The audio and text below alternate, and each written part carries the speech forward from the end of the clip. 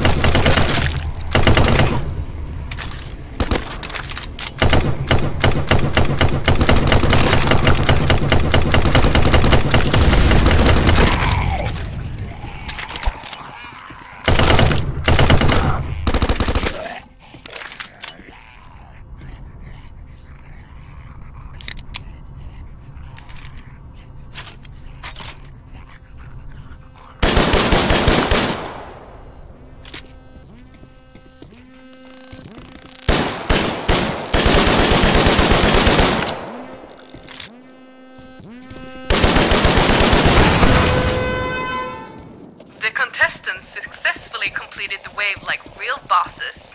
Nice work, assholes!